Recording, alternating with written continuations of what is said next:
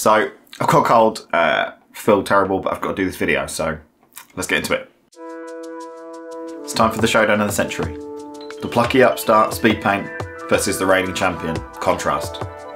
Uh, let's get ready to rumble! I've had these speed paints for a week or so now, and I think it's time to do a direct comparison with Contrast to see where the real differences lie.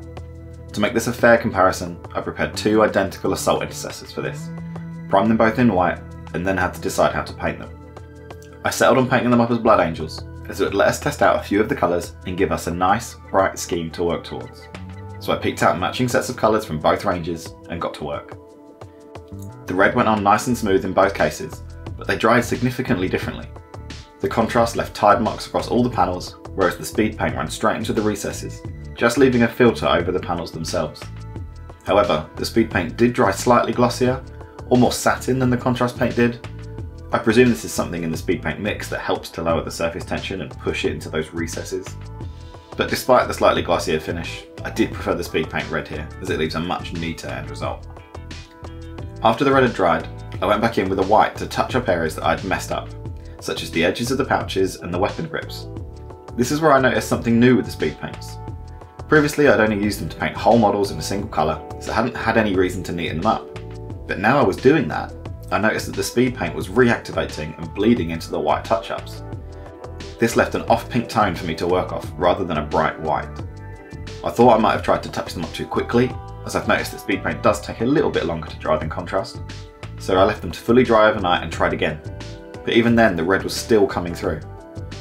I've been using contrast paints since they came out and have never noticed this happening, so this is my first big negative of the speed paint range.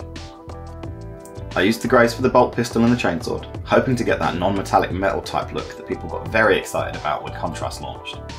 For me, they don't quite do that look justice, and I'd probably stick to true metallic paints in the future, but they are both nice greys, with the contrast coming out a little darker than the speed paint. The yellows are both very similar in tone, but because of the reactivation issue I had with the red speed paint, the finish for the speed paint yellow ended up muddy and muted. I knew I could have varnished over the red before touching up the white, but I'm trying to do these tests from the point of view of the target market for these style of paints. I don't think that varnishing between layers should be an expected step for beginner level products. On the band Vambrace, where I had the original white prime to go on, the speed paint came out much more orange in colour than I anticipated. So here the contrast yellow is a clear winner for me. Despite both paints having leather in the name, they aren't as similar in tone as you'd expect, so it's not a straight comparison here. The speed paint is much darker than the contrast, almost more of a chestnut brown than a leather colour. They're both nice and have a nice finish, so I'll happily keep both of them in my arsenal for picking out pouches, belts and straps, as it will help me vary my browns with very little effort. So this one's a draw. I touched up the lenses with white, and for the speed paint model, quickly hit it with a hairdryer to speed up the drying time. I found that this helps a little with the reactivation issue. I then used the green paints from the range to paint the lenses. Both paints worked fine for this, with the speed paint giving a slightly brighter finish, but neither is bad, so it will come down to personal preference. After a quick dunk into some of the Geek Gaming base ready range, they are ready for the tabletop. Here's a side by side of them both finished. All in, they took me about 20 to 30 minutes each to complete to this standard, which is pretty good going.